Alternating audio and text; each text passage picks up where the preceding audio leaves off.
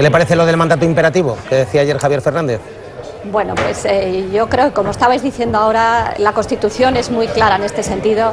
La Constitución expresamente quiere excluir el mandato imperativo a los diputados y a los senadores y por lo tanto la Constitución está por encima de Quiero todo. preguntarle algo. Buenos días.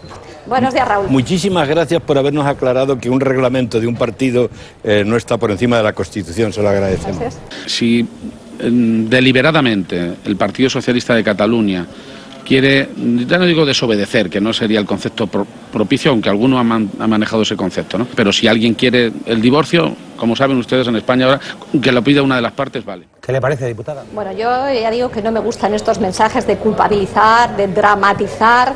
Eh, quizás el señor García Paje hubiera sido bueno que a lo mejor ayer hubiera explicado por qué defendía la abstención. Fíjese, a lo mejor si el señor García Paje ayer hubiera hablado y yo hubiera dicho algo, a lo mejor a mí me hubiera convencido, pero no le oí ayer.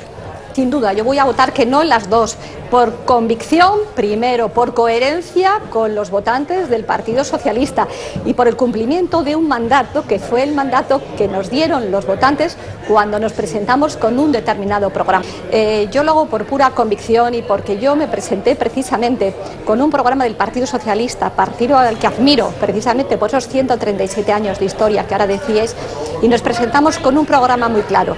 Y ese programa, lo he dicho muchas veces, era un sí al cambio, un no a Mariano Rajoy. Y ese es mi mandato, mi compromiso con los votantes. Eh, también, ya que se habla de términos jurídicos y de estatutos, lo he dicho muchas veces, un programa electoral es un contrato y los contratos hay que cumplirlos.